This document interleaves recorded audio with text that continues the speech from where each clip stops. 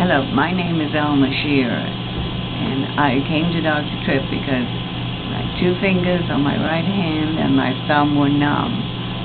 Well, with the treatments that I have been having, they are better. I've got feeling in both of them now. Sometimes they're good, but sometimes they, sometimes they're not as good, but they are better. And Dr. Tripp has worked on me. I think he's doing a good job.